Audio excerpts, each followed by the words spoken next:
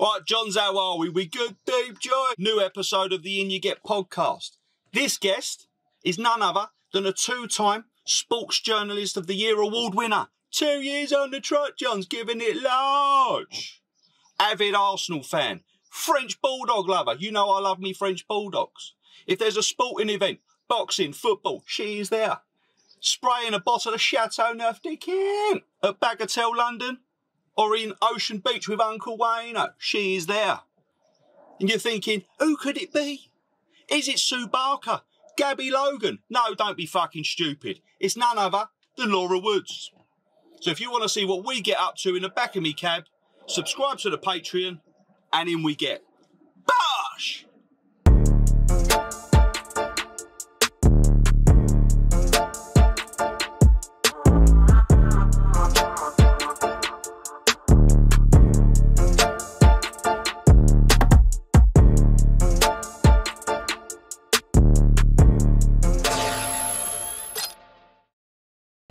Woodsy, Aaron, how are you, darling? very well. How are you? Yeah, what are you getting nervous for?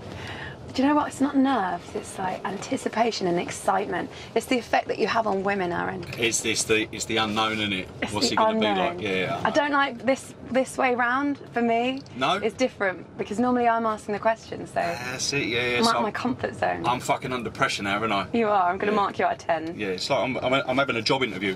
But Literally. how are you? So, who, who we got with you? Who- This who's is? Lulu. So Lulu a minute ago was sat next to me, but the definition of a lapdog, she has manoeuvred herself onto my lap, which Do- uh, does she molt? She molts like a bitch, and honestly, like I'm really sorry. It's everywhere right now. That's fine. I'll have a little tidy up before I I'll take it out your fee later on. Fine. If we've agreed a fee.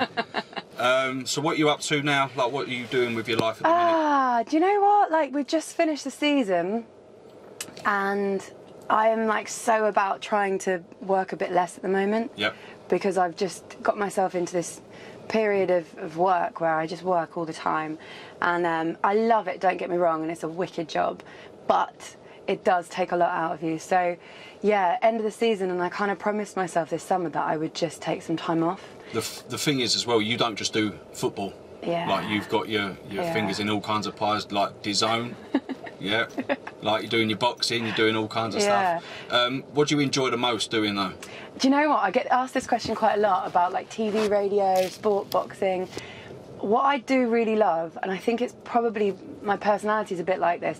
I like the, the mix. Yep. So like I'll wake up at four, I'll go do the radio, I'll do that four days a week, and I love it, which is the reason I get up that early because otherwise there's no. Oh, you're right. There's no reason I would get up at 4 a.m. for anything other than just really loving it. And to be honest, like you get a mix, so you get to do the radio. You get to cover all sports on the radio. You Yeah. get to talk to all sorts of people on the radio as well and just have a bit of a laugh.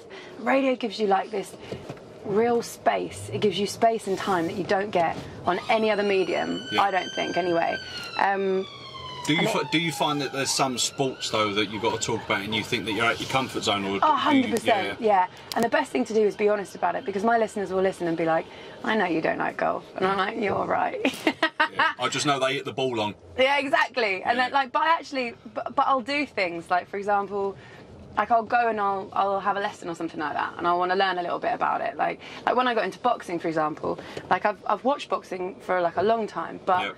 I've never watched it in the same way as an expert would watch it, and I've never worked to understand it in a deeper way other Yeah. than just watching like the big fights, you know, like the main events.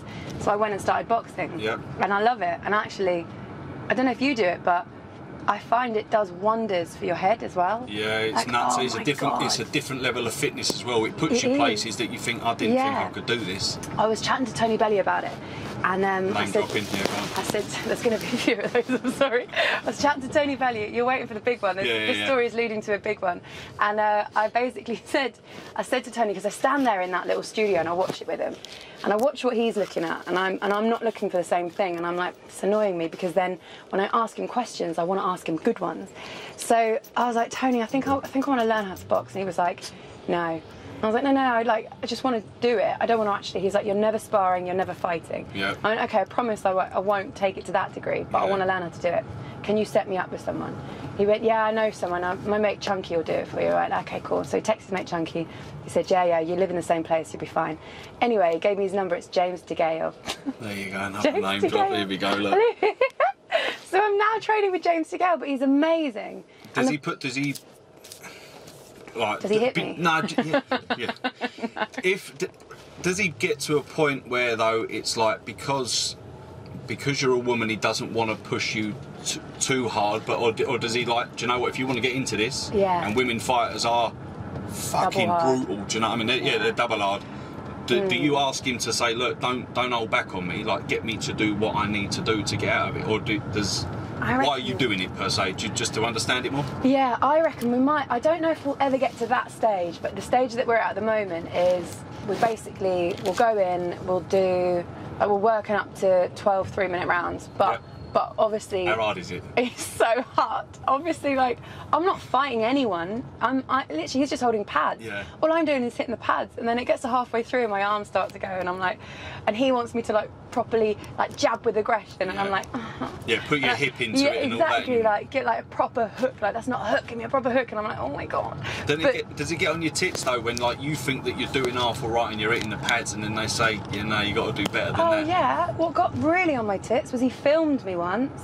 And I looked back at it and I was like, Did you know about what it, I look like? Did you know I didn't know. It was like No. someone in the bushes surreptitiously filming me, and he was like, "Don't worry about that. Carry on.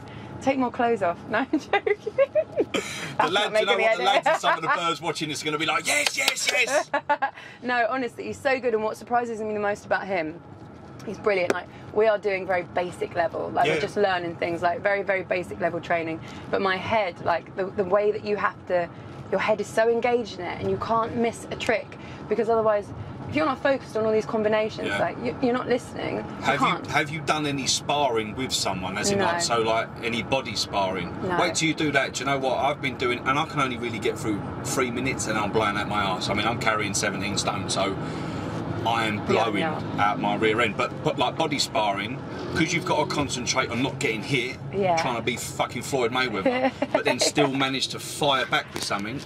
On, I, I take my hats off to him, and I've started to go into shows and stuff. So where I do my boxing at Dennis and Dyer, Yeah. they they put on uh, they put on shows like every few months throughout the year, and they've got like 1,200 people there. What sort of shows? like proper boxing shows. Are you doing it? No, they want me to do it, but I, at Go the on, minute, at the minute, I can't. No. Wouldn't that be fun though? Yeah, I think everyone would be like, I just want to see him get the big shit out. um, I probably will at some point, but just at the minute, I don't want to. I'm not good with pain. I have a cry when I shit. So, Who would you like to fight? who would I like to fight? Oh wow. Um, Tough question, I mean? Sadiq Khan's up there. Boris Johnson's up there. But I don't know. Bozza, you and Bozza in the ring. Yeah. I'd pay to watch that. To be fair, You reckon? I reckon he'll do me. have you ever seen him take out that kid? Uh, what that charity game, the, The- the, the uh, soccer game. aid thing, wasn't it? Amazing. But he was in rugby mode because all these posh fuckers like are all into their rugby, aren't they? So then he just took them out like that. Um, so like sports broadcasting for you, was that the avenue you always wanted to go down, or did you fall into it? What did you? oh, Yeah, I think like when I was at uni, I used to want to be. I used to want to be a writer. I Yeah. went to uni, and then when I was at uni, I was doing print journalism. I wasn't really enjoying it that much, Yeah. and I started looking at other courses at different unis, and I saw broadcast journalism at Bournemouth, and I called them up, and they said you haven't got the right grades to get in, Right. so I couldn't switch. So I stayed doing that um, at Kingston, print journalism. And then while I was there, like I always wanted to combine. I was always the sporty kid at school, and I loved it. Yep. And I used to play rugby when I was younger with my brothers. I've got two big brothers, so everything in my life pretty much revolved around sport. And then I, I never really realised that there was a way to combine the two together. Gotcha. And when I was at uni, I started doing these match reports for like our rugby team, football team, whatever. And they were like really bad match. I've still got them. They're really bad match reports. They're hilarious, um, and they're like littered with spelling mistakes, and they're shit. Um, but I really enjoyed it, and I liked the element of like going to a live sport, watching it, like enjoying it, and then your work being about it. Yeah, so yeah, yeah, yeah. I, I found a way into Sky Sports, and um, the difference between print journalism, the work experience I'd done at print journalism, which was on the Croydon Advertiser, Yep. I hated it. It was like, oh, it was awful. Versus the work experience I got on Soccer AM at Sky Sports was Mm-hmm. like night and day. And I was like so enthused about it, like enthused. Where did that one what a word that is. That's that. That's not your upbringing at all. not my Just be you. That's just one that I've, I've learned along the way. Um, I loved it. I just thought it was the most wild atmosphere and environment I wa- when I walked into Sky. It was incredible. Everyone at Sky, they're all in their different groups, Mm. right? So you had like the cricket team, and there's all those sort of like cricket bods over there. And then you've got the rugby team and the football boys. And then you had my team, which was the pub sports team. Mm-hmm. And we covered darts, snooker, speedway, pool, nine ball pool, which we did in Vegas once every other Yeah, year. yeah, It was like it was insane. I loved it. So our team was like, our culture was a bit of a pub culture as well. Yeah. Everyone was just drinkers. Like, all, we'd, we'd work really hard, really long hours. We'd go and cover all these events, and then we'd drink all through the night until the next morning, and then we'd go straight back into work again. Is that what drew you to doing like the presenting? You know, the darts, Yeah, yeah. the PDC, yeah, and all that. yeah, innit? Like, because so, I loved it. I wanted. I always, when I was younger, I wanted to be. Do you remember Newsround? Yeah. I wanted to be one of the press packers, and I Okay. always applied, and they rejected me every time. Never Why do you think it. they rejected you? Ah, because I was a twat. Because I'm know. a woman. because I'm a woman, because I was a 12 year old woman. Yeah. No, I just think I just think they had thousands and thousands of kids applying for it. Hello, and um, I just never got on, never got on. But I really wanted to, and I remember watching all those shows. I remember watching Fearne Cotton when I was little and thinking that looks like fun. You- and I'm the youngest. I'm the youngest Yeah. child, so there's like a bit of a. You got something to Oh, prove. like, yeah, thing. exactly. Do you, did you ever think that you would be fucking like top dog? Like you won the Sports Journalist of the Year award twice Nice in a one. row. You've got that well done. Like, did you ever think that you was going to reach the levels of Sue Barker and Gabby Logan? No. Or Gabby Yorath, however you want to remember her. No, and I definitely haven't. I, I don't even think I'm anywhere near those two. But I. Why? Why? Um, because I watched them when I was little, and they were like. Yeah, but um, think of all the, ni- the the young girls that are aspiring to be the next Laura Woods. Do you know what I mean? Like, do you see yourself as like the next presenter on Match of the Day? You could be going that way. I mean, I would, I would love to. Would you do it? Yeah, Heart- like in a heartbeat, I would do it. Yeah. The thing is, there's a little bit of fear, and you ask anyone in the industry, there's fear of, of being the next person to. You don't want to be the David Moyes for the for the Fergie, right? Gotcha, gotcha, yeah. And um, oh, you're trying to get out. Sorry. Um, you don't you don't want to be that one. But I was that one for Alan Brazil, and and Yeah. yeah, it was hard, and it and it was pretty horrible to begin with. The thing is, no one would have thought after Des Lynam, Gary Lineker would have been Yeah. what he is today. Do you know And what I you mean? know and you do need longevity Yeah. in a job and given a chance. That Gary Lineker said that exact what you just said to me. Oh, really? That's what he said to me when I took over Alan. Yeah. Because I was like, no one, no one wants, no one likes change for a start. No one wants to see Alan Brazil go. I like this will make you laugh. I didn't want to see Alan Brazil go because I listened to him every day. Yeah. And I used to, when I started working with him, it was the, it was just like the best time of my life. It's that like, iconic voice, isn't it? couldn't believe it. Yeah. Yeah, couldn't believe it. Listened to it with my dad since I was little, since Yep. I can remember. My dad listened to Talk Sport from the minute it started. So Alan Brazil was this like nostalgic voice in my head. And then when I was the one to replace him, I was like, even I didn't want that to happen. And Did it's they, a really did they weird ask feeling. you to do that, or did you put yourself forward, or did they say like they liked what you were doing, Yeah. where you were going? They thought Yeah. it's a fucking we need to go down. Well, it's either Yeah. you or that fucking fat wanker Jamie O'Hara. So I knew I'd rather listen to and probably watch. I do love Jamie. He's good. But He's got he- he's got on well, hasn't he? I mean, he's he's, come from the depths of shit. Yeah. Like I don't Yeah. know, being with that fucking absolute rotter, and he's Yeah, he's done. I tell you what, he, out well. he is um, an absolute joy to work with. Yeah. Because he's a really nice guy, and in the breaks we'll have our little counselling sessions, which are wonderful. But also, he'll give you so much. So Yeah. as a presenter, you'll find this now, right? You're working with someone, you're interviewing them. If they don't give you anything to work on or like to come back with, it's really hard. And you're all you're thinking about is like, shit, what's the next question? What's the next question? Yeah. Whereas Jamie will give you some of the most wildest opinions I've ever heard about football in my life. And, and he will take the shit from me as well Yeah, and he'll yeah. give it back. Yeah. So we have like a bit of a kid's relationship, like a brother and sister's relationship, Yep. where we can give each other ultimate shit and it's, and it's are you fine. similar ages? Yeah, we are. I think he's a bit older than me. Yeah. I think he's probably I mean, he about three. I mean, by, our biological ages are about 20 years apart, but like our actual ages, I think he's probably about three years older than me or something like that. So Yeah. yeah, like we're from the same kind of generation. We're both from Essex. Like there's there's probably a lot of similarities, but I just like him a lot. And what I like a lot about Jay as well is I bounce everything off my brothers. Yep. So like if their opinion is is right in my well, if Yeah. my opinion is a certain thing and it's right in their heads, then it must be right, right. Yeah. And my oldest brother Paul listens to Talksport religiously as Yeah. And uh, he loves Jamie. He Do you Jamie. do you hold your brothers in such a high regard? Yeah. As well, you know. So like, Yeah. whenever they've got an opinion on on anything that you're doing in your life, Yeah. be it whatever, you'll take it on board. Yeah. Even if you sa- like deep down, you might not necessarily agree with it because your heart or your head's telling you to do something else. Yeah. But when they tell you, ultimately they're right. Yeah, hundred percent. Like exactly what you just said. The the small child in me will be like livid that their opinion is different, Yeah. but then the adult in me kind of goes, they're probably right. Do they support Arsenal? Yeah, both of them do. Yeah. A staunch Arsenal family. Staunch, yeah. Apart from my dad, Newcastle. Yeah. Favourite ever it. Arsenal player. Mine, Ray Parlour. Who are you? yeah, seriously, Ray Parlour. Like uh, there, there are a million. Is that because could you pick work, work from. with him? No, no, it wasn't actually. It was when I was little. He's just the one. I have like really odd taste in men. Like if you know my family, and they'll tell you like I am. You obsessed. like the ginger rugby type, didn't you? Or Yeah, I do, like that? and also like long hair. Long hair. Yeah. Long, just, basically just like you. Yeah. Just locks, yeah. Lucky I shaved my hair today long last night. yeah, is that why you've cut your Yeah. hair? We, we need more than That's just why like, the a piece of cameraman's cut his hair and all. it's a good idea. Yeah. But no, like, uh, like when I was younger, I was always obsessed. Like anyone, any man with like long hair. Like, do you remember Castrogiovanni played? Yeah, yeah, yeah, yeah. Obsessed with him. Really? Yeah, one of my first boyfriends basically was Castrogiovanni, but in English form.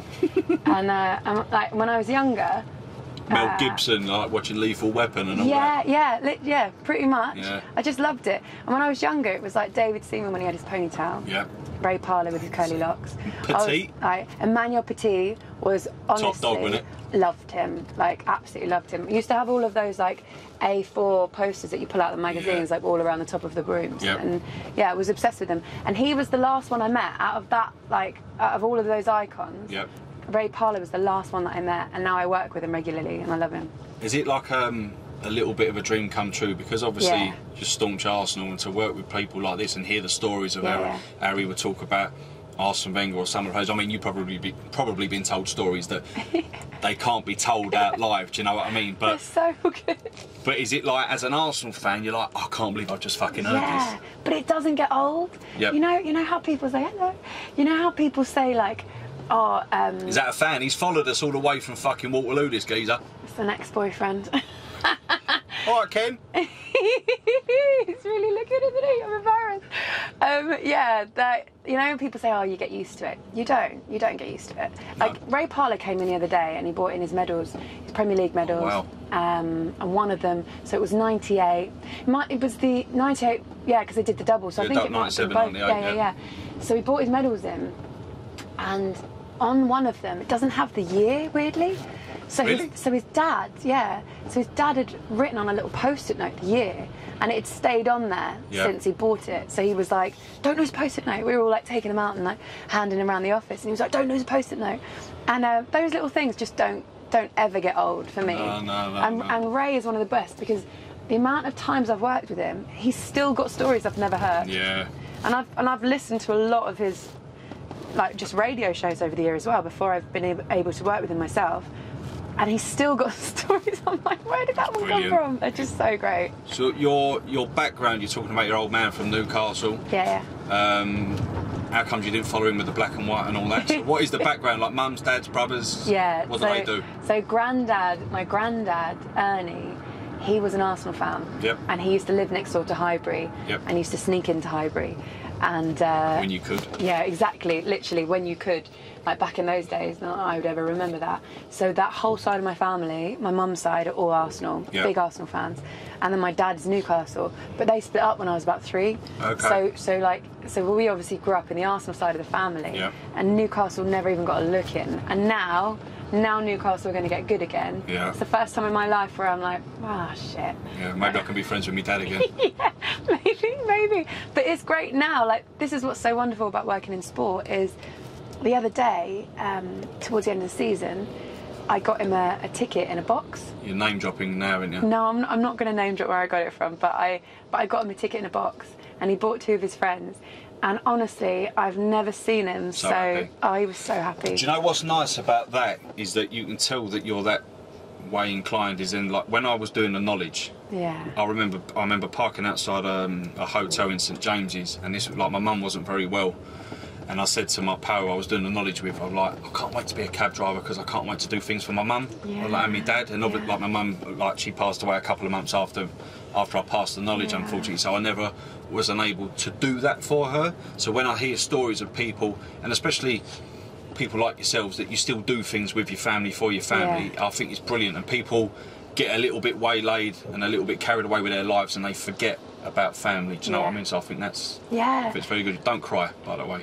oh my god. but it's true. It's like people. I suppose social media gives you a perception of things, don't they? And it looks like oh, you get all these like great trips and all these like free things and whatever, and um, you do, you Yeah, do. But it's only worth it if you can bring the people that you love. yeah, your latest jaunt, no, you done it with your pals, when it? Where did you go? I went to Monaco. To Monaco. So I got this call, right? My agent was like, listen, you've been invited to Monaco. I went, oh, fucking hell. I said, great. Uh, can I bring a mate? Because I didn't want to go on my own. Yeah. And they were like, actually, you can't bring a mate. I went, ah, okay. I don't really want to go if I can't bring a mate. And then they sent me the itinerary, and I was like, I'm there. Yeah. and yeah. I'll be there. Yeah. And honestly, it was it was amazing. And I went on my own.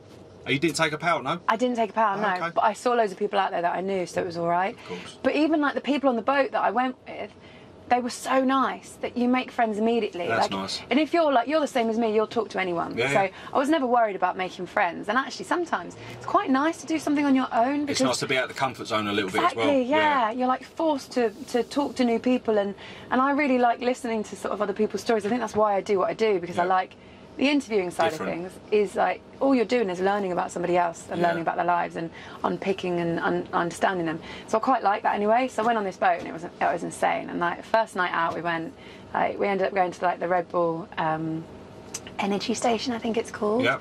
Anyone who's everyone is in, is in there. Mm. Ended up getting in at I don't even know 5 a.m. 6 a.m. We had to meet at 9 a.m. to go back onto the boat the next day for the actual GP on, on Sunday. I woke up at half 11. Are you a boozer when you're out? Yeah. Because I've seen on the socials you like a little bit of bagatelle, champagne popping, dancing on the fucking tables, giving it large. Yeah, but do you know what?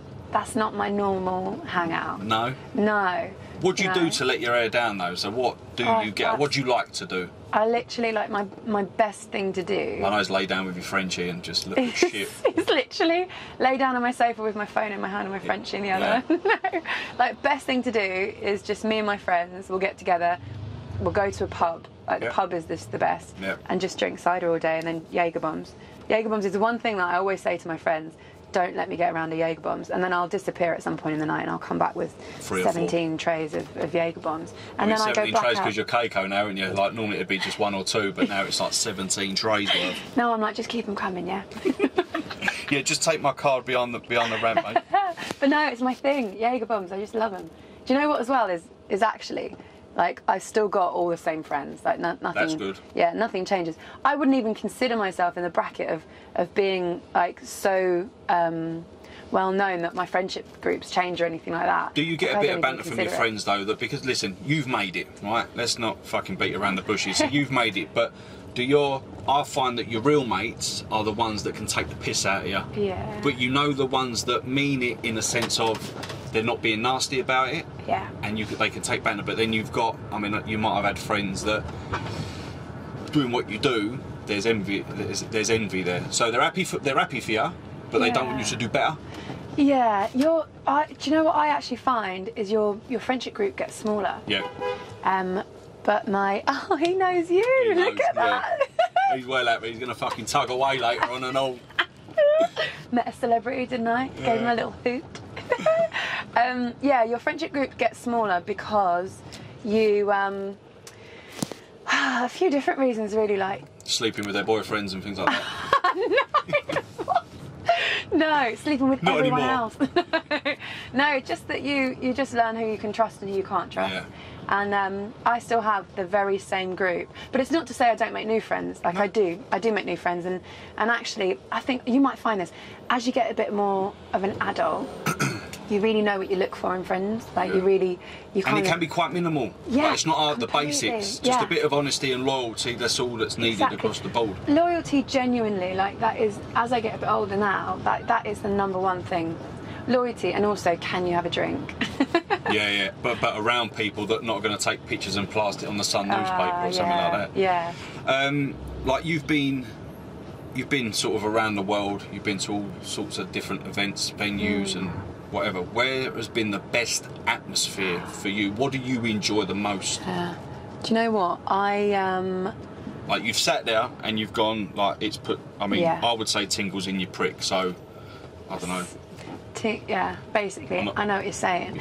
Um, I got the tingles when it was the most recent one actually that I went to, and um, I was in Madison Square Garden. I'd never been there in my life. Mm-hmm. I was working with DAZN, but the Katie Taylor, Amanda Serrano one. Really? And honestly, like Aaron, I've been to some amazing events. I've been to some like like World Cup finals, like Euros finals. I've been to some of these incredible places. Yep. But that one, the arena wasn't even the biggest I've been in. No. I can't remember. It wasn't that. It wasn't even like twenty thousand or something. I think like it only holds about 15, 16,000. That's isn't it, even, right? not Yeah. even huge, yeah. So it was a sellout, and but but the thing is, it was like Puerto Rican um, fans and Irish The fans, Irish, yeah. and, and then like some of the travelling Brits as well. But the Irish were amazing, and uh, Katie Taylor. We were, sta- we were standing in our little studio cubicle thing right at the top Madison Square Garden, and me and Bellew were looking out at it.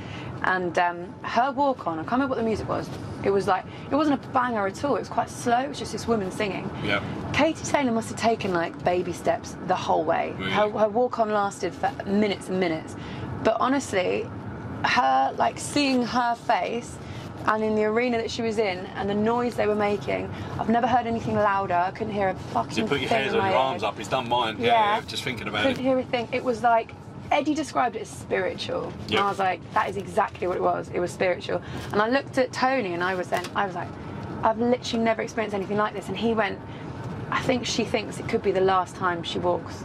Because obviously if she'd have lost that fight, She's in, she's trying to just take it in and enjoy it, yeah, taking it all in. So then when I had that in my head, then it made me quite emotional as well because I was like, wow, like, because I know all about Katie. I met Katie just after the Olympics, um, 2012 Olympics, Yep. when she was just coming up and coming through and going professional and like all that sort of stuff. And I know a lot about what she went through to get to that point as well. Eddie talks about her. Obviously, Eddie Eddie will talk about her for like days and days about how amazing she is. And I listen to all that and I know all about it. Yep. So I think just that moment being Especially when you're place, involved in it as well, then you know the. yeah, you know the backstories Yeah. and. I, it was honestly the best thing I've ever experienced. Like the colours as well, all the flags, like the, the way that she was looking into the camera and looking around, and the crowd were on top of her. Like Mm. it's it's such a small venue in that sense that the crowd literally feel like they're on top of you. It was just yeah, it was incredible. Yeah, nice. And the What's fight, it, of course, was incredible too. what's it like working for with Edward? I love him. Is he alright? Yeah. Essex boy, isn't he? Proper Essex boy through and through. Not many people know this, but I've worked with the Hearns since I was 21. Yeah. And uh, So you know my cousin for quite a long time, and you Frankie Frank boy, Smith. I can't Frank. believe that's your cousin. Yeah, it's mad. So him, he's his mum and my mum's sisters. That's mad. Do you know what? Frank and me, when we were in New York together, we sat at a restaurant. Yeah, it was a posh one. We sat next to each other, right, in our posh little clothes, with our posh little champagnes, All paid for. all paid for by Eddie. Yeah. And we said to each other, when I first started working for Sky and he started working for Matchroom, Yeah. he was even younger than I was. He was like 18 or something. Yeah. And we were both bottom, bottom, bottom. I was a runner, he was a runner pretty much. Tea we were, we were, yeah, he was making teas, I was making shit coffees. And um, we used to, we were always friends when we worked together. We worked like in York Hall, Bethnal Green on the yeah, pool. We worked on the darts, we would, would go to like um, Blackpool together for like 10 days. All the shows that I worked on were matchroom events Mm. Yeah. for Barry. Yeah, yeah. Um, so I knew all of them so well. And then we got to the stage where we were sat there in New York and we were like, wow, we- we've done all right, haven't we? we've actually done all right. Combine those fucking wages, it'd be alright, wouldn't you? fucking hell, you'd be living next door to Ricky Gervais soon. Jesus I did look Christ. into that, no. Yeah. Well, I think he's he might even be doing a bit better than me, actually, Frankie. Oh, Frank. Yeah, I, I keep saying to him like you need to start sort of providing for the family as a whole, not just yourself. exactly. You've got to start taking You us these start places. paying Aaron's phone bill. Yeah, yeah, please. You're fucking trying to beg all you fuckers to try and get on my podcast. Ah, but no, the answer is Eddie's wicked to work for. He's great. He's the one that called me up for the DAZN gig. Called Mm-hmm. me up and said, "Look, we want you on board. These are our plans." You are the obvious choice, though, you and that's not blowing smoke up your ass, yeah, because they want to, they want to, they obviously they want to take over, like boxing as a whole, and they, they probably have like nailed it. I mean, if you look at the, if you look at the um, Dillian Whyte Fury, Yeah. BT, yeah, I just you didn't It- like it. like- I went, so I didn't. I didn't see. no, I went there, so I went. I obviously went to the went to the fight, Yeah. but I just putting on the shows. You can't compete with Matchroom. Do you know? I, I don't personally think, and I think the well, zone is obviously they've they've come away from Sky and doing their own thing, um, and they've cherry picked who they want. And I think moving forward, like you are. You're, at the minute, you're the cream of the crop. Do you know what I mean? You're, you're still up and rising as well, but you've you've established yourself with Talksport, taken over from Big Al, and like he's probably going to keel over soon at some point. Oh, don't, don't Poor- say that. Poor man. Um, yeah. You know, you know when like you talk about getting shit and people taking the piss. Like for me, I automatically go back into caddy mode. Yeah. So when people give me shit, I'm like, yeah, I'll have it with you. Yeah, I'll, I'll verbally have it with you. If you want to go there, I'll have it. But people say to me now, like even him in the back will say, look, nah, like there maybe you got to sort of rein it in a little bit. Mm. And but do you find? I mean, you posted up something the other day about when someone said about Akin Fenrir, and you made, and you replied back with something yeah. like, do you have to clear things with No. management, or, or No. you're all right with it? This is this is something that ever since I started doing anything on telly, Yeah. social media was always there. I never had the um, I never had the grace period of, of just learning the trade without Yeah. being immediately judged by someone. Yeah. Um, and it can it can be a hindrance, but it can help you a little bit as well. Because sometimes you might make a mistake that you haven't even noticed, and then someone on social media goes, "Why'd you say that?" And Mm. Oh, you're it's like, nuts, "Shit, Yeah. I didn't even know I said that." Like, it just happens. Like you get nervous. TV's different, you know. You just say things you don't even mean. Um, and but one way I've always dealt with it is by that's that's me in general. Like I do have a bit of a smart tongue, and like I'll do I do bite back. Is that your And, um, upbringing? yeah, of Yeah. course. You, you can't. You got two big brothers. Yeah. Like you can't do anything apart from fight for your life in certain situations. So that's that's what I did, and that's what I do. And um, I do notice a lot. Like we'll get emails from our company leaders that say like don't engage in things on social media. But if you're if you would like me to not do that, then give me the support of how to deal with all of the Yeah. shit that you do get on social media. And to be honest, I get less. I don't get a lot. Yeah. Like when I started doing breakfast, I got a lot, but it's this change. But it's isn't it? because Like of what people are used to with Exactly. Alan Brazil. It's like, I- as you said, people yeah. are scared of change. But do you, I mean, I've said this before, um, and there, obviously there's extremities to it. So I think, me personally, you know, I speak my mind. I think a lot of you blue tick brigade buggers, right, should be able to go back at these trolls and say, "Who the fuck are you talking to? Yeah. Don't talk to me like I'm a cunt." Do you know? Excuse the language, right? But when you've got management around you or an agent and whatever, they're t- saying to you, oh no, don't engage with this and Yeah. don't do that. But this is where people get away with it. So then what you've got, if you've got someone that's mentally struggling, Yeah. can take it really personally, Yeah. then all of a sudden they've killed themselves because Yeah. of certain remarks. Whereas you want them to sort of stand up for themselves, Yeah. you're not doing it. Like, like management and agent, they're just advising, oh no, don't do that because we can't be bothered to deal with the fucking backlash. Fuck the backlash. Like people, and I think this is why people don't mind what I do, is that I'm, I try to speak up for people that can't necessarily speak up, and I will, I will, I will put my point across.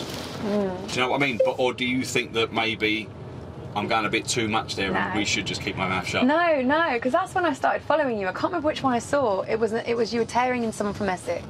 Naturally. Can't, of course it was. I can't remember which one it was, but it was refreshing. It was funny, and you and I don't think you go too far actually, to be honest. And but I watched Ricky Gervais's new stand-up the other night, and um, Brilliant, eh? it's so good, isn't it? It's But he's so he's getting good. shit. I know. He's getting shit, and you think, but how? He's just Yeah. all he's doing is just stating the fucking obvious. Yeah. Like, but yet again, I find that doing what I do, they want to they want to tone it down, and that people want to be sort of um, taken out the firing line for when when it's people are taking the piss out of someone. Yeah. Oh, so it's alright to take the piss out of them, but you can't take the piss out of them because they're in a wheelchair. Yeah, there's there's there's levels. I mean, if you watch the whole thing from start to finish, with what he's saying, I don't think you can disagree with. No. Um, but when you take it out of context, When you take which, snippets, which- is the problem with, with social media these days, is Yeah. everything is taken out of context, and then you're and then you're in trouble. But that's why That's why I think sometimes like when I if I tweet something back and I do it not very often, but I do it fairly often enough. Sometimes it'll go viral, and then I think, oh shit, like what have I done? But again, like that's the way of that's my way of dealing with it. And mm-hmm. if it puts off a few people from doing it, brilliant. People are weird, aren't they? They're, they Yeah. but what gets me is that people that comment on your stuff that don't even follow you, but then they'll they'll comment months Yeah. down the line as well, when you're like, right, you're still here, so Yeah. I'm still I'm still in your head, like I'm paying rent, but you don't even follow me. So what I'll I'll, I'll, I'll write comments now is that I'll just reply, yeah, no, thanks very much for the follow as well. And every comment you make, I earn a pound, so thank you very much. and then people they think they're funny by saying, yeah, have another pound, and by the way, I don't follow you. Well, now looks like who looks like a fucking awkward cunt. Do you know what I mean? So you don't follow me, but you're commenting on my stuff. Yeah, and it's all engagement, isn't it? This is what people don't understand about the way social media works. Is any engagement is actually good engagement. So- unfortunately, Talking about good engagement and people that you've worked with and, and who you possibly you haven't met. If there was five people in the world you'd like to have a dinner date with, who would your five be? I don't know why, but David Ginola just came straight to my mind. Eh?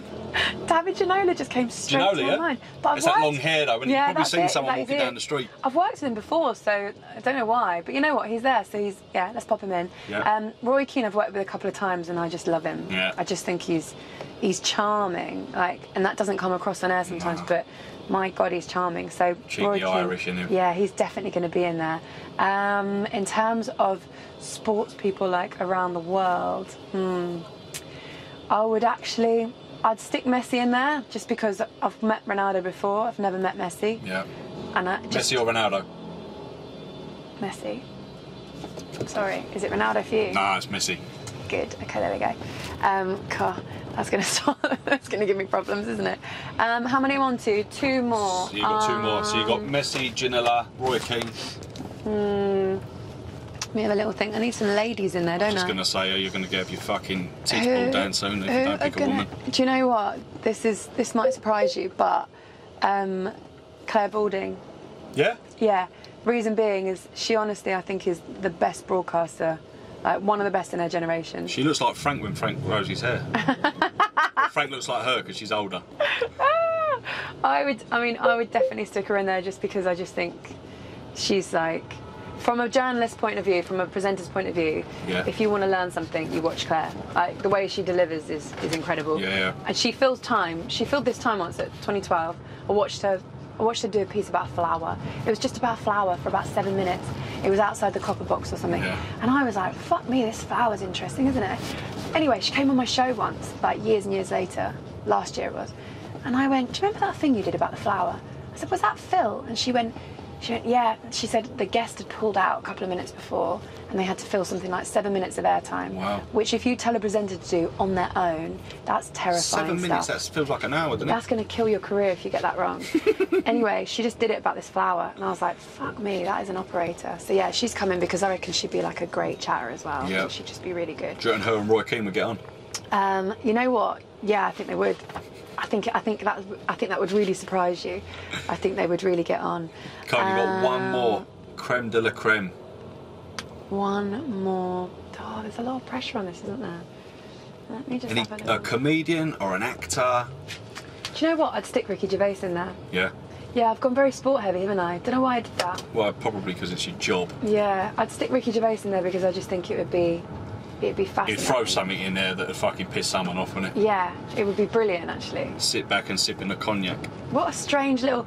I mean, that's a lineup for like I'm a celebrity or something, isn't it? Strange little lineup. Put him in the jungle, yeah. I almost want to take Messi out now because I don't think he's like bringing enough conversation. Do you yeah, know what I mean? don't think he speaks English either. That's a really good point. No. I love, I love how I'm berating him for not speaking English. It's I so mean, I don't. He's got English. everything needs, but he don't speak English. That's why people pick fucking Ronaldo. Not much of a chatterbox is he, so he's probably not going to be in there. How's Lulu getting on? She's great. She alright? Yeah, Do you want to do a pit stop for her to have a little wee or what? She might need one, yeah. Okay. If you see a little bit of grass,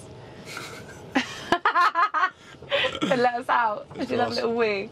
But I, you know what? She's literally just, yeah, she's doing what she does and standing all over me. Does she not do it on a bit of concrete, or does she like a little bit She, of comfort she of grass? might. It's probably more me, isn't it? That like, just in case Yeah. she, uh, As a poo. yeah, exactly. Are you Yeah, uh, yeah, looking forward to like the Jubilee? Do you do anything? You patriotic? You got any bunting going up on the flat? Or, No. flat or a house? Sorry. It's It's a flat house. It's Like a masonette. Two Yeah, up, two down. yeah, Old Victorian. much.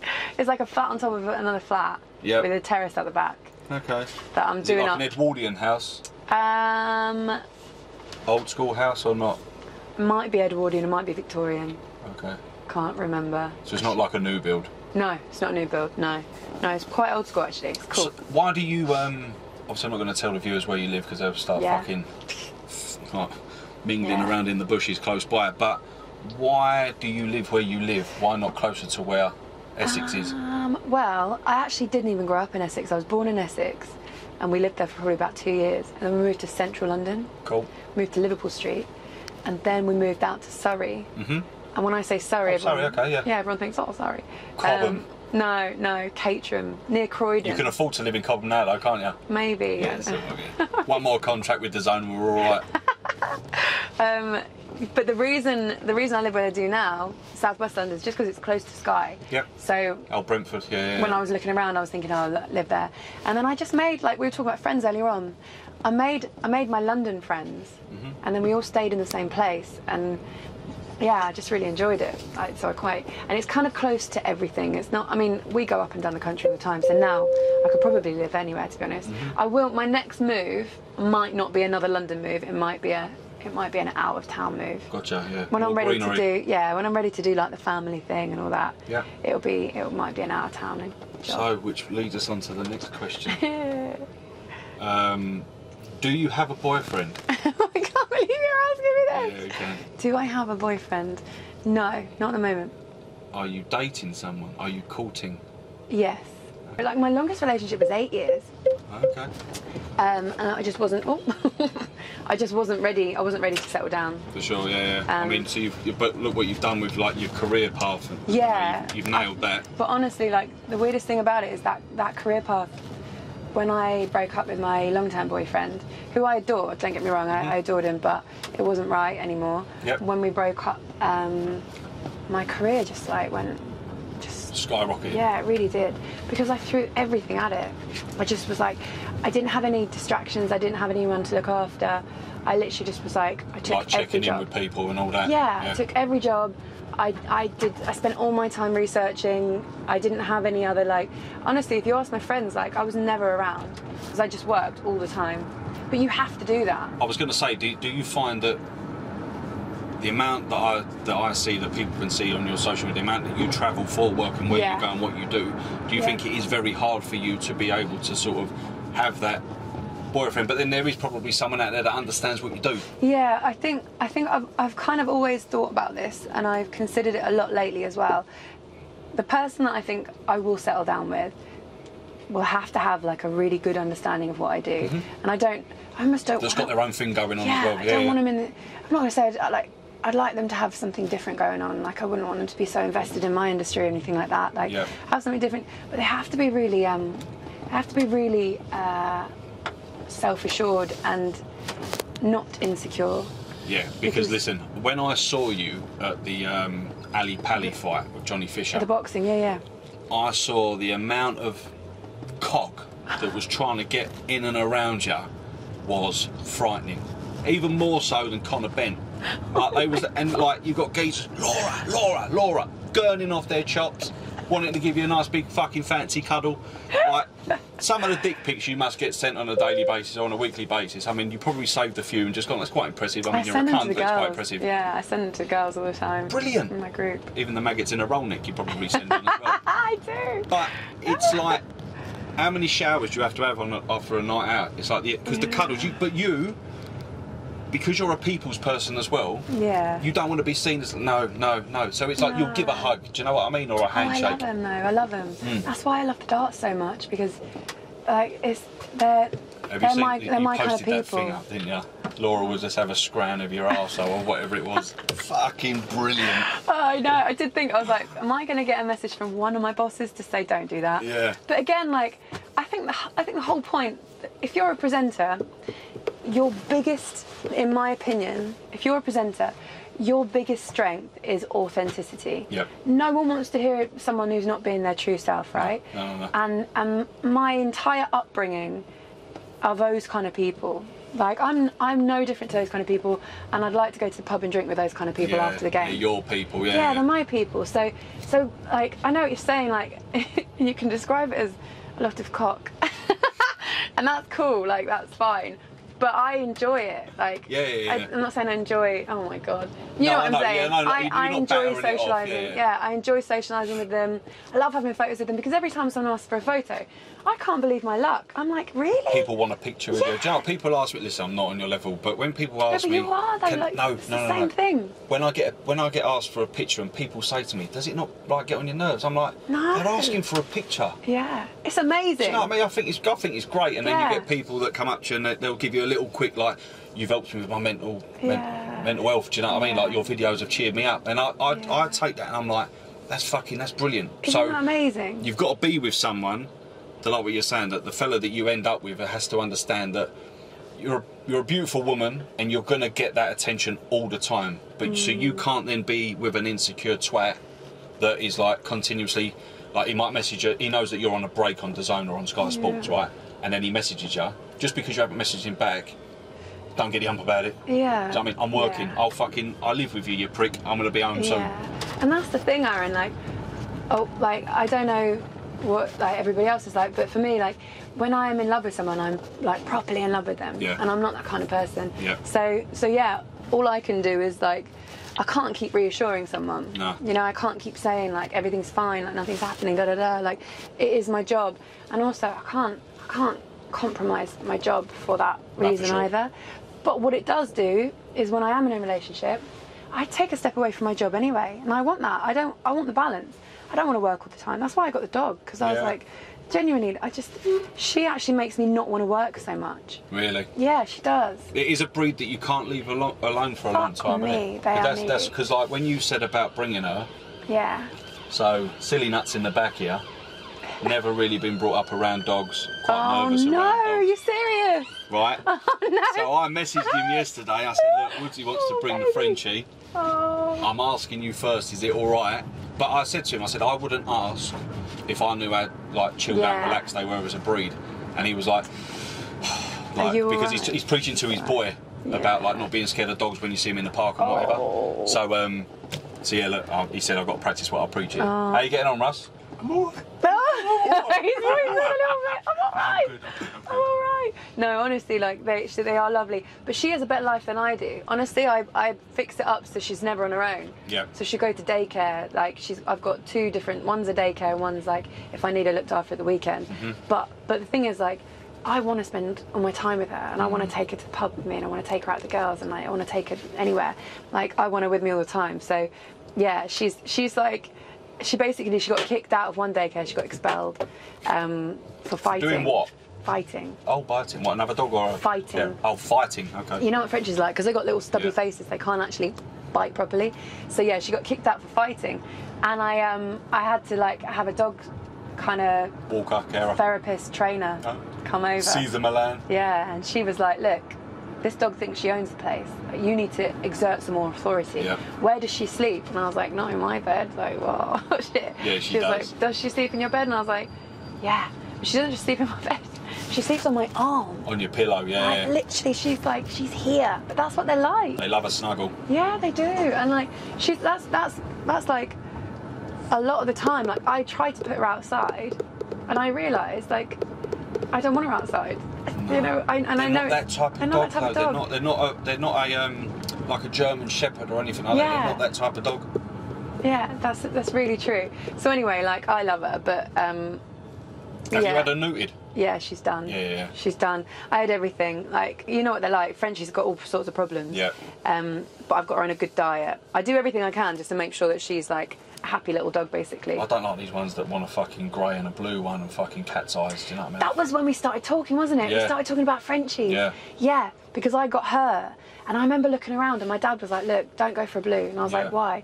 And, and he said they've just got so many problems with their skin and their eyes and their ears. That's it. Yeah. If you get a recognised colour, which is one of these ones or... Yeah. Fawn, remember what- brindle. Exactly. Yeah. Then they're the ones that they're going to have a lot better or a lot less health And, you, issues. and your insurance won't be through the roof, but Yeah. the insurance for these dogs are quite expensive anyway. But they Yeah. won't like for those ones. It's through the roof. yeah, exactly. Not going to break the bank massively. Um, Do you know where we are? Yeah, look at this. Wow, because it's a jubilee. Yeah. I wonder why it was so bloody busy. Oh, look, you've taken me on a really nice. Oi, is Big Ben? Don't oi me. Is Big? Fucking is Big oi. Ben open again? Yeah, look behind you to your right. She's claiming that she's not patriotic. Of course she is. I am a little bit. Yeah, I do love a big cock. Oh my god. Hey, that I waited for ages. So- That's taken me ages to. Been, you've been lining that up for months though. I've been lining out. Hope he takes me past fucking Big Ben, so I've got it in my ammo. It does look beautiful though, doesn't it? Yeah, it's lovely. Remember Do- but that was under fucking wraps for like four years. Yeah. And do you know when they were taking the scaffold down, a crane hit the building. Are you joking? Yeah.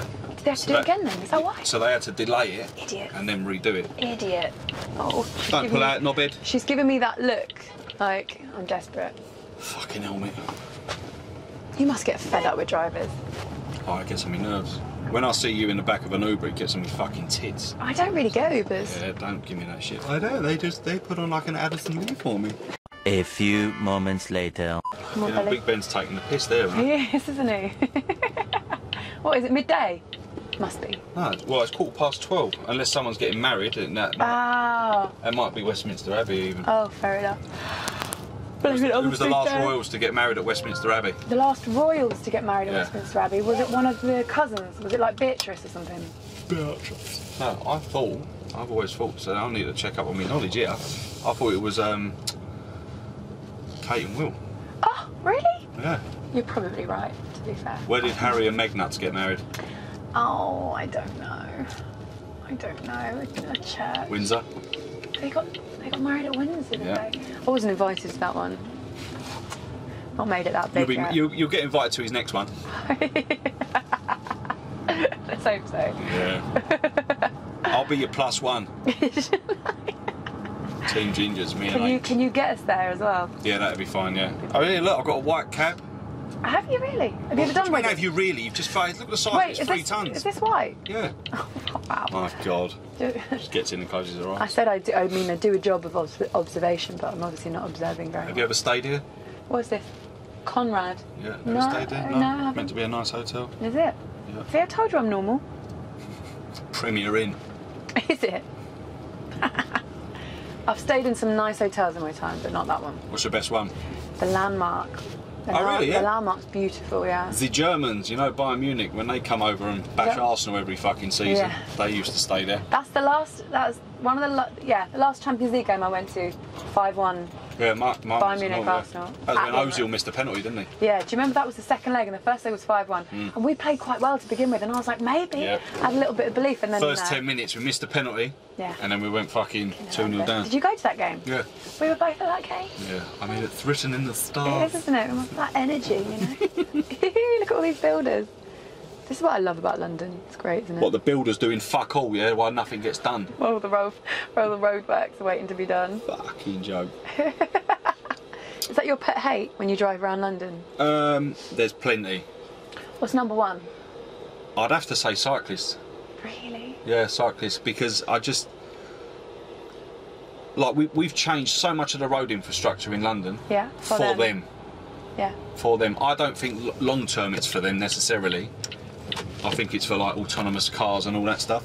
Oh, Uh, but that's me going down the rabbit hole. let's go down that rabbit hole. Autonomous cars scare the shit out of me, by the way. Yeah. Yeah, yeah, yeah. Um, What's number two? number two, probably Uber drivers. I promise you, I don't get them as much as you think. Okay. I don't like them. They're never available anymore either. That's because you don't get them, isn't it? That's the reason why you don't get them. You're nervous. Let's get off the Uber Uber, Uber driver's case. What's n- what would number three be? Number three, my main gripe, really things that really cheese me off is when you allow people to cross the road and they don't say thank you. I agree. I hate that. Like, there's no need for it. Or when you know when people cross the road and you know they've skipped into the road pretty quick, they see you coming and then they slow down Yeah. and they look at you as if to say, "Yeah, I'm here." And what?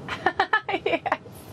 You know when you let them cross Yeah. and they don't say thank you? Do you Yeah. open your window and go, thank you? Can't confirm or deny I do that. what I say.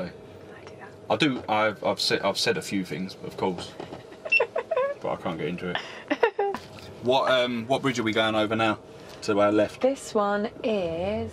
I know what this bridge is. This isn't.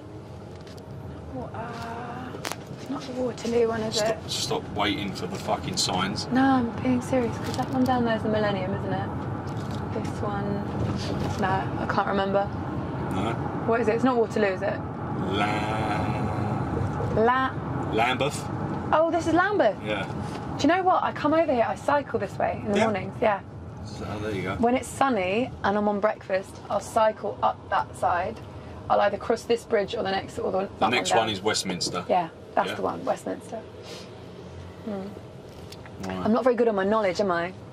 Hmm. I'd be a crap Bit taxi shit. driver. What's that big wheel thing? I've got no idea. Get fucked. joking, I'm Get joking. fucked. It's obviously the London Eye, isn't it? What's its original name? Uh, the Millennium Wheel, There you go. right? Yeah, Do you absolutely. remember when the Millennium Dome was just a dome with those weird bodies in Yeah. it?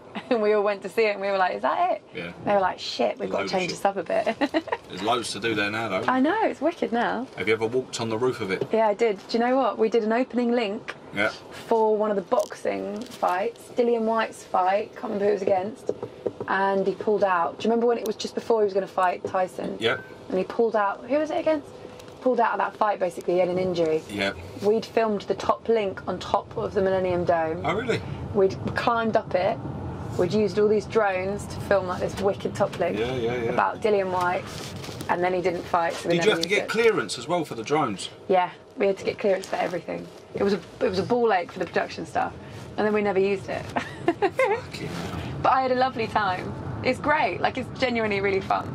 It's all beautiful, this, isn't it? It's lovely. It's lush. This is such a nice place. I mean, all right. I know you like your general knowledge is pretty shit, but like, do you like the historical parts of London? I do. you do. like the architecture? I love? I love it because I used to live there when I was really little. Yeah. Liverpool Street.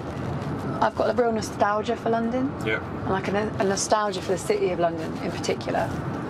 To be fair, where you, I mean, where you live is just out far enough away from the hustle and bustle of it all, but it's literally a 20-minute commute in on the Yeah. on the Rattler, isn't it? It's not far at all. Honestly, it's like it's so quick. Sorry.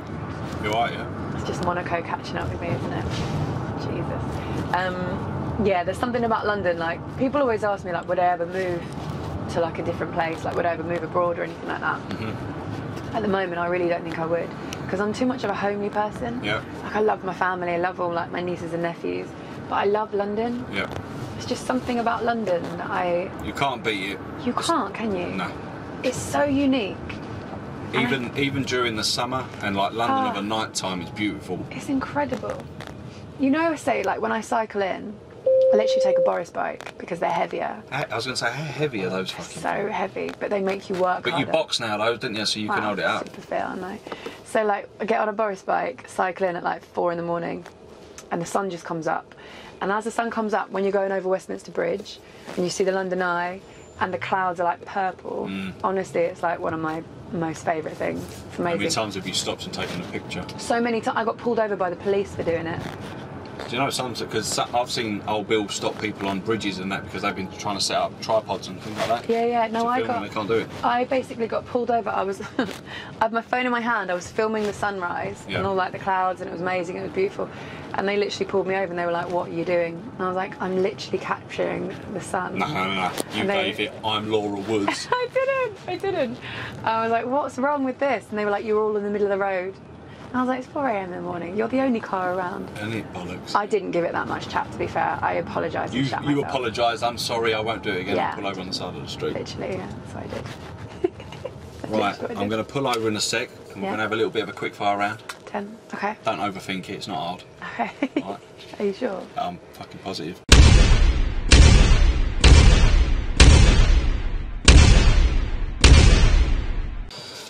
Right, Laura. Quick fire round of questions. Is that all right? Yeah. Sweet. Right, get straight into it. What's your worst habit? Yawning. Clearly. Your favourite swear word? Cunt. Say that again. Cunt. There you go. Does Lo- feel great to say it though, doesn't Brilliant. it? it? You can only say it in here though. What's your favourite meal? Pizza, Okay. Any particular topping? margarita with ham. Okay. Um, what would you say is the, the most overrated meal in your opinion, or piece of food? Fish.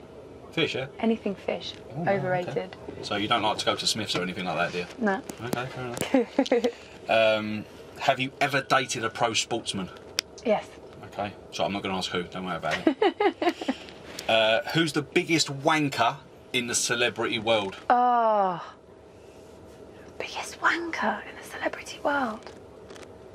Oh, that's really hard, that one. Do you, want, do you want to come back to it? No. She knows. Bob Arum. Who? Bob Arum, you know. Oh yeah, yeah. bo- Boxing. Any particular reason why? Yeah, because he was he slagged off Katie Taylor and Amanda Serrano. He was pretty nasty to Kate Abdo as well. So yeah, not Okay. bit bit of a bit of a Uncle Rob. dinosaur, should we Uncle Rob. say? Ah, okay, yeah, yeah, yeah. All right. If you was running Talksport and you was in charge, who would you sack? Woo! Who would I sack? I would sack. Uh, I would sack the top dog because then his pay packet would get shared up among all the people below him. Right, I'm not having that as a fucking answer. I thought that was pretty good. No, I thought that was quite a political Far answer. too intricate. That. Who- If you had to get rid of one presenter, who would you get rid of? I would get rid of Jamie O'Hara Because he's Spurs. because he's Spurs There you go. Then we'll leave it at that. and because they just finished top four and the next season is going to be I tried not talking about that. It's so Oh. fucking annoying, and they've got money to spend. I mean, this is a quick fire round, so Try being in on Monday morning after that happened. No, not at all. Horrendous. Not at all. Um, are the rumours true of you and Akinfenwa? no. I love him though. He's like my work. He's like my brother. What was he like to work with? So good. done quite a bit with him during yeah. lockdown, didn't you? One of my favourite people on this planet. Love him to death. He, yeah. look, he, he does look rather bubbly and he's just he's quite a laugh. brilliant. But no. Um, would you rather be on the top table with Uncle Wayno in Ocean Beach, or let Kurt Zouma look after your dog? Oh my God, top table with Wayno. Yeah. I'm going to Ibiza. I'll be there anyway. Yeah. Fuck, top table, Uncle. We've gotta have a picture of Wayno. Just start screaming up the Johns. What's your biggest and pr- most proudest achievement to date so far? Winning the Sports Presenter of the Year for a second year running. Yeah. And a close second? uh, close second was getting the breakfast show. Okay. Being given the breakfast show to present. Yeah, Yeah. that's nice. Yeah, Yeah. nice deep joy. Do you have any regrets? No. No. None whatsoever. No, I don't. I think about things that I could have done differently, but I think They've led you to where you are. exactly. Yeah. Yeah. I don't think you can have any regret. You're in a celebrity boxing match. Who do you want to have a punch up with? Because you're doing your training. You will get roped into it. Jamie O'Hara. Jamie O'Hara, yeah? You reckon you could have him as well? Yeah, I do actually. I think I'm a bit taller. Am I a bit taller than him? I feel like I I'm. reckon you've got the reach on him. Yeah, I think I've got longer arms. I reckon I've got a better reach, and I just think it would it would just make our working relationship so much better if we could just fight it out every now and then. Yeah, punch fuck out of each Yeah, other. then we'd be best friends again. It'd be fine. Yeah, I think so. Um, also, I mean, I've got a lot that follow me. Would you date a cabbie? Of course, I'd date a cabbie. There you go. Free All right, lads. transport. Right. Can I, can I just can I just say one thing? I need to get this in here. Yeah. So, a group of my pals, I've, I've only just become sort of pals with him over the last year.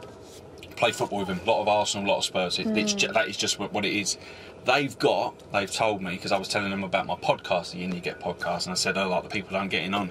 Told them about Jason Fox, and like, and other people. As soon as I said you, they were like, okay, right, can you let her know that we've got a Laura Woods appreciation group? What? they got a group. So their, their WhatsApp group is the Laura Woods Appreciation Group. So when you know when you go out and do your things and whatever on Yeah. Sky and whatnot, your picture will get posted. I'm not in the group, but your picture will get posted up and be like, look how beautiful she is. No, really? Yeah. Wow, that's amazing. Yeah. People have asked, Ah. what size are your feet? Seven. Seven. Well, actually, they're a six and a half. Yeah. Why have I just told you that? People, pe- and No. they, they've also asked. I mean, this is a little private one for them. People have also asked, next season, will you come to an away game with them, me? Everything's all laid on for you, including your Jaeger bombs. Hundred percent. So that's how deep they know Is about this, the is Jaeger this is this the Laura Woods Appreciation Yeah. Society? A hundred percent. I would cool. absolutely love to. We'll organise That would be amazing. And I'm like, wow, I can't even believe this is Laura Woods Appreciation Society. But thank you so much. That's right. Laura, I just want to say thank you from the bottom of my heart coming on this. Oh, I I appreciate it. it. a lot. Thank you very, very it. much. We got there eventually, didn't we? Yes, eventually. Planning for ages. Yeah, it's only been a couple of couple of years, oh, but I thank, Thank you. Thank, you for having me. I loved it. This is probably the best interview I've done. How chill. But it's relaxed, isn't Yeah, it? It's not. You're not. In, you're not in charge of it. No, exactly. I fe- it wasn't as scary as I thought it was going to be. Thanks for letting me bring my dog as well. No, that's right. So when I am in a studio environment, you're going to come on as one of my guests there, yeah? Yeah, when are you coming on my show? I, I don't know if Talksport will allow me to come on. Why? I don't know because I probably swear too much. Should, well, Try and organise it. I can I'll mellow organise it down. You, I can chill out. I can relax. So I've got management now. Have you really? Yeah, we'll have we'll have a chat Oh, about he's that. gone big time. Yeah. I'll see you in Monaco next year, yeah? Yeah, I'll be driving the riding the boat. No, sailing the boat. you'll be the, you'll be the sailor. ah, I always thought you were full of semen. Oh, God. Right, and on that note, get fucked In Ya Get. Thank you very much. Cheers, all. Bye.